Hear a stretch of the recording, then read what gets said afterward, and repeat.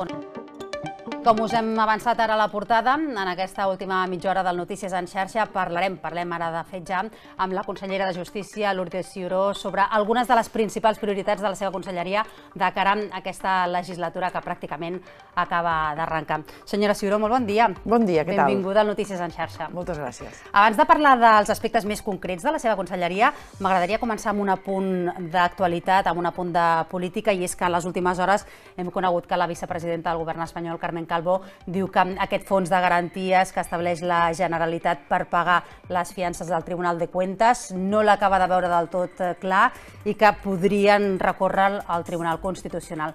Des del govern tenen clar que no hi ha cap escletxa possible perquè un recurs, un hipotètic recurs, pogués prosperar? Bé, que hi havia la, que la primera reacció seria portar-ho al Constitucional, era que, claríssim, no?, que tindrien aquest tic perquè és el que els domina doncs, últimament, portar-ho tot als jutjats l'argument jurídic és sòlid, l'estructura jurídica és sòlida. S'hi ha treballat molt des de la Conselleria d'Economia, el conseller Giró s'hi ha esmerçat molts esforços, el Departament Jurídic de la Generalitat també hi ha treballat a consciència. Home, eh, fet un, és un, una protecció que es fa als alts càrrecs en l'exercici de les seves funcions, que tenen molts estats i que Catalunya no tenia. Per tant, és una cosa que necessàriament necessitem. També, com deia el conseller Giró, no?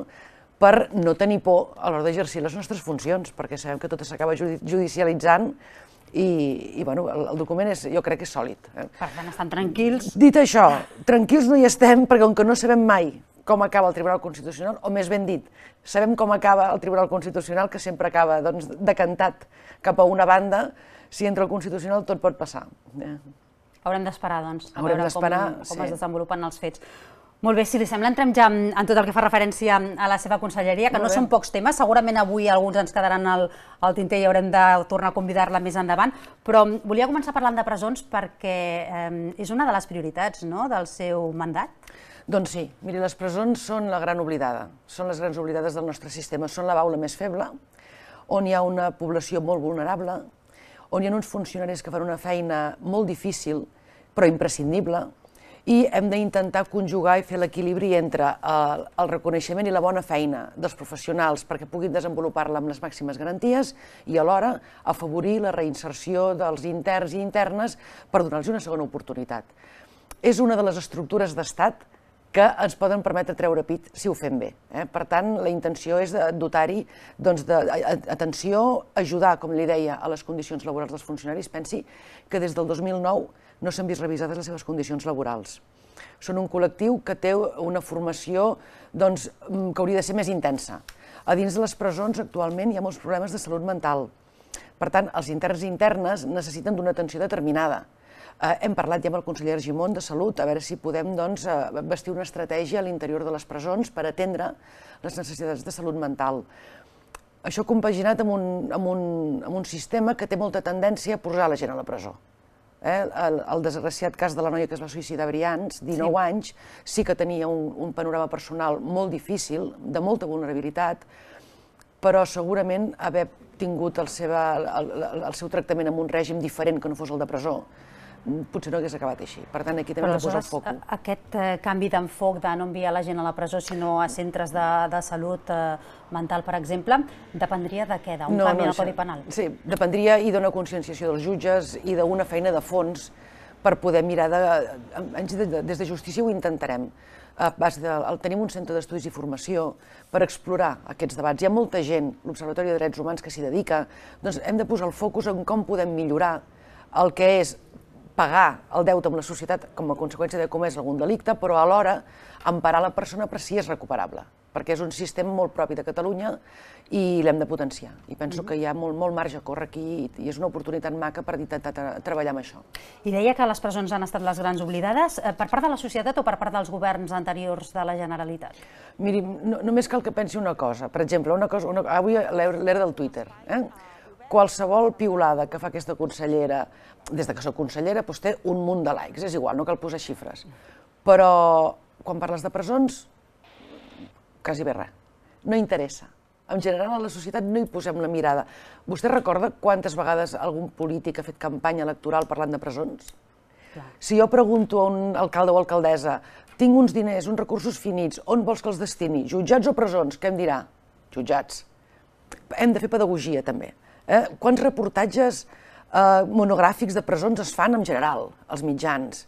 No sé, és un tema que sembla que la societat miri cap a una altra banda perquè tenim allà doncs, el fracàs col·lectiu no? de totes les persones que tenen un deute amb la societat, com si no volguéssim veure el que passa Però existeix. allà. Existeix, s'ha d'atendre, són uns recursos públics que s'ha de retre comptes del que es fa i, a més a més, amb totes les garanties per les feines i pels drets humans dels presos. S'han de defensar els drets dels presos, també els dels treballadors, n'ha fet referència abans. Aquesta setmana hi ha hagut concentracions a les presons per part dels funcionaris. Reclamaven més seguretat perquè també aquesta setmana hi ha hagut una, una agressió sexual per part d'un intern a una treballadora del centre de, de Quatre Camins. Vostè ja ha tingut no, oportunitat de, de parlar amb aquests funcionaris, que és el que li traslladen i han arribat a algun acord? Miri, amb els, ens vam veure de seguida amb els sindicats, amb tots ells, i després hem anat, estem fent visites a tots els centres del país, de joves i, i penitenciaris, per parlar doncs, amb tots els comandaments, també amb els funcionaris, i que ens vagin traslladant de primera mà el que hi passa. No? Com li deia, negociació de condicions laborals, des del 2009 que no s'ha fet. Què passa? Que doncs, la, la formació o les condicions de promoció interna dels funcionaris, ja sigui la carrera horitzontal per poder traslladar-se o, o vertical per poder incrementar la seva categoria quan anem, per exemple, això no s'ha atès, eh? està pendent de, de poder-se atendre, el fet de, de que siguin reconeguda la jubilació anticipada. Tenim unes plantilles molt envellides. Què passa? Que és una feina d'estrès i d'exigència. Hem de plantejar-nos aquesta jubilació anticipada als 60 anys perquè ens permeti rejuvenir la plantilla, tenim plantilles de, de bastant més de 50 anys, doncs això ens ha de donar aquesta capacitat de poder rejuvenir, clar, amb gent formada amb la realitat actual el perfil d'intern o interna és diferent, com li deia, el tema de la salut mental, si hi ha conflictes a les presons, com que no es vol que la primera reacció sigui la immobilització de la persona, sinó desescalar el conflicte. Imagini's el nivell d'estrès per un funcionari que no té la formació adequada davant d'una situació de conflicte, com raones. Si el que ens surt és, escolta, solucionem la situació, no? per tant has de donar formació a aquest funcionari o funcionària perquè es pugui, es pugui afrontar les situacions amb més garanties i tenim eines. Li deia, tenim el Centre d'Estudis Jurídics, tenim l'Escola de Policia, que hi passen Mossos, bombers, policia local. Per què no hi poden passar també els nostres funcionaris de presons? Per tant, com que tenim les eines i els recursos que ja funcionen, mirem d'aprofitar-los al màxim. No? I també li volia preguntar, ja per tancar el tema de presons, sobre mm, la situació de les dones a la presó. Entenc que el pas de Carme Forcadell i de Dolors Bassa per la presó ha visibilitzat una mica la situació en la que es troben. Elles han explicat que les presons no estan preparades per a dones, també hi ha un projecte per dur la presó de dones a la, a la zona franca. Tot això com està i de quins terminis parlaríem?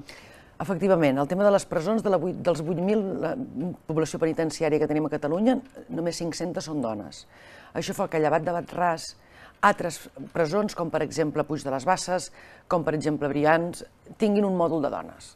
Tenir un mòdul de dones vol dir que la major part dels interns són homes, la major part de les activitats són per homes, la major part de eh, moments de sortir de la, de, de la cel·la per fer altres activitats són pensades per homes i no per dones. Per exemple, a, allà baix a Tarragona, a Mas d'Enric, es va intentar posar un mòdul de perruqueria. Sí. No vam aconseguir-ho. Eh? No es no va aconseguir, no es va aconseguir. Bueno, ho hem de treballar, perquè doncs, per les preses fer un mòdul de perruqueria permet aprendre un, un ofici, per exemple, elles sentir-se més, més, més, més bé no? amb si mateixes i donar una formació per quan surtin.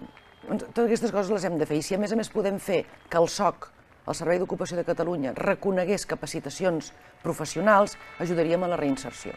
Per tant, repte, centre de dones de la zona franca, i posar més perspectiva de gènere a les presons per, i amb, amb, amb plans singulars per joves i per dones cap a la reinserció. Això també s'ha de fer. Canviem ara de qüestió. Eh, li volia preguntar també per la llei de memòria democràtica. Està ara mateix en procés de, de revisió. Quan la tindrem a punt? Ens agradaria que dins el primer trimestre del 2022 tinguéssim ja un text ben revisat. Eh? És un text que ha de, ha de ser valent, que ha de tractar la veritat, la justícia, la reparació, la no reiteració, però a més a més no podem deixar d'enfocar el que és l'auge la, dels totalitarismes i com els nostres carrers s'han de desproveir de símbols feixistes o de símbols que enalteixin eh, règims totalitaris. I això ha d'anar acompanyat d'unes sancions aplicables, proporcionades i, per tant, que siguin eh, proporcionades, com deia, no? Una sanció que no es pot complir o una llei que no es pot complir no és útil. Per tant, estem en aquesta fase de revisió. Tenim què ens ha dit el Consejo General del Poder Judicial amb la llei espanyola, que diu que l'enaltiment de, del feixisme als carrers és llibertat d'expressió. Això sí que és llibertat d'expressió, segons ells. Per tant, pensem a Catalunya que això no és llibertat d'expressió en el sentit de que quan s'incorre en l'enaltiment de règims totalitaris. Hi ha un auge que s'ha de, de prevenir. I sobre aquesta qüestió, la dels règims eh, totalitaris, la del feixisme, també li volíem preguntar com està ara mateix la situació del procés de retirada del monument franquista de Tortosa. La data prevista era el dia 18, estem a dia 9, hi ha recursos presentats. Què en saben? Doncs miri que una jutgessa de Tarragona ens ho ha aturat d'una forma una mica estranya, eh? perquè ens ha dit haig de resoldre les mesures cautelars que ha presentat la part demandant però d'entrada no facin res. Per tant, adopta unes cautelaríssimes de facto, sense escoltar l'altra part. Eh? No podem fer res. Llavors, eh, esperar que resolguin a la major brevetat. És un símbol feixista, és un símbol sufragat amb recursos feixistes i és un símbol que enalteix els vencedors d'una guerra. Per tant, el que toca seria retirar-lo de l'espai públic i confiem que la jutgessa resolgui la major brevetat perquè tenim, tenim un altre problema aquí, que això està ubicat al mig del riu. Segons el cabal del riu i l'època de l'any... És ara és ara. Per tant, segurament, si s'endarrereix molt i entrem a la tardor en època de pluges, ja no pluges a Tortosa, pluges a l'Aragó, que és quan baixarà el cabal més ple, haurem d'endarrerir-ho més. Per tant, la conseqüència d'una demora no és inocua, i la jutgessa hauria de tenir en compte això. Perquè S'hauria de retardar potser un any sencer. Exacte, amb tot el que suposa, de permisos, per tant, el, el dany que causaria la jutgessa amb, el, amb la demora supera la tutela que es vol garantir. Doncs això sí que ho veurem aviat, perquè el dia 18 era la data que teníem prevista i hem de saber si finalment poden dur les màquines allà perquè comencin a treballar. Està tot a punt. O no, està tot preparat, tot a punt, oi? sí. Més qüestions, eh, consellera. Eh, S'han multiplicat les denúncies per incidents relacionats amb l'homofòbia. Què en podem fer amb aquesta qüestió? Bé, de fet, el govern ja amb els consellers d'Interior, d'Igualtats i Feminismes i de Justícia i hem començat a tenir les primeres reunions per tal d'aplicar un protocol integral contra els delictes d'odi. És a dir, no només contra l'homofòbia, sinó també contra tots els delictes que impliquen doncs, la vulneració de drets de minories i incitar l'odi a les minories. No? I ja, ja estem treballant. Això és un, hi ha de ser un equip interdisciplinar, una taula interdepartamental amb aquests tres departaments com a mínim per poder enfocar des de Mossos, des d'Igualtat, amb els serveis que tenim, els ajuntaments i els municipis per atendre qüestions de vulnerabilitat de dones doncs, i també justícia per veure com eh, donem resposta i estem treballant perquè sigui el més aviat possible perquè és veritat que l'auge amb gent jove és molt preocupant. I ens queden uns quants eh, minuts que volíem dedicar a, a preguntes, a qüestions que ens traslladen les entitats adherides a la xarxa, les ràdios i les televisions eh, locals. Ja li avanço que gairebé totes tenen a veure amb situació, renovació o implantació de jutjats. Per exemple, és el cas de la del Nou Televisió, que ens eh, demanen saber quan podran ja reprendre els judicis a Vic. Bé, jo crec que passat l'estiu serà possible reprendre-ho, estem en fases de, de negociació amb l'Ajuntament perquè necessitem una sala de vistes. I l'espai el tenim ja localitzat, és un local de Vic que, que s'hi poden ubicar, s'hi poden emplaçar, acaba de tramitar documentació per recuperar aquestes vistes penals a la ciutat, que ara estan a, Manresa, i és un, seria un servei de, de proximitat pel ciutadà, que és una de les coses que persegueix la Conselleria de Justícia, apropar la justícia al ciutadà. I en aquest cas, el fet de poder-ho fer a Vic, tornar-ho a recuperar en un espai determinat, doncs és, és important i ho farem ja doncs, passat, passat l'estiu. I una altra qüestió que ens arriba des de TAC12, ens demanen pel futur de la ciutat judicial de Tarragona i si tenen clar ja quina serà la seva ubicació, si per exemple, com s'havia dit, podria ser que anés a l'edifici de Tabacalera. És l'objectiu, que vagi a l'edifici de Tabacalera, que Tarragona ciutat tingui un fòrum de la justícia com li pertoca, és capital de demarcació, amb un tràfic important, per tant li pertoca aquesta, aquesta reclamació. També esperem que puguem beneficiar-nos dels fons Next Generation que arribaran d'Europa i per tant el puguem destinar en l'equipament de Tarragona perquè és un equipament que vol que sigui, vol ser doncs, emblemàtic amb sostenibilitat amb, amb, i amb, amb, amb comunicacions i per tant eh, s'enquadra perfectament amb, la, amb els objectius dels Next Generation. Dit això, no puc acabar d'explicar-ho de, sense recordar, per exemple, que les taxes judicials que paguem els catalans quan pleitegem i se'n van totes a Madrid, si ens vinguessin cada any són 60, mil, 60 milions d'euros. Podríem fer una ciutat de la justícia a Tarragona cada any. Jo insto aquí a tots els arcs, a tots els partits de l'arc parlamentari, a tots, de Catalunya que ens ajudin a reclamar aquestes taxes que paguem els catalans, a Madrid, que paguem els catalans quan pleitegem i que ens tornin per poder dotar-nos d'equipaments que necessitem. I una última, aquesta segur que la coneix eh, molt bé, aquesta demanda, perquè és eh, de la televisió de Sabadell. En quin punt es troba el procés de millora i de renovació dels jutjats de la cocapital vallesana? Sí, l'edifici de Sabadell és un edifici que és un edifici, li diem malalt, perquè fa un efecte lupa, és tot de vidre, és molt maco. Quan el veus sembla que sigui qui sap què, però no, no és un edifici eficient ni bo per treballar. Doncs estem estudiant la possibilitat de que puguem construir un edifici nou a un terreny que hi ha, doncs, relativament a la vora de l'espai on, on estan ubicats ara. Per tant, la intenció és afrontar els números, de veure com pot anar aquest projecte i que sigui una realitat per la demarcació del Partit Judicial de Sabadell aquesta, aquest nou equipament i posem tot l'interès. Conseller, avui no tenim temps per més, ja seguirem parlant en una altra ocasió perquè també ens quedaven altres peticions, però ja no és possible. En tornarem a parlar en el futur. Gràcies per haver-nos visitat avui Serà a Notícies en xarxa. Moltes gràcies. Molt bon dia. Bon dia. Notícies en xarxa. Tota la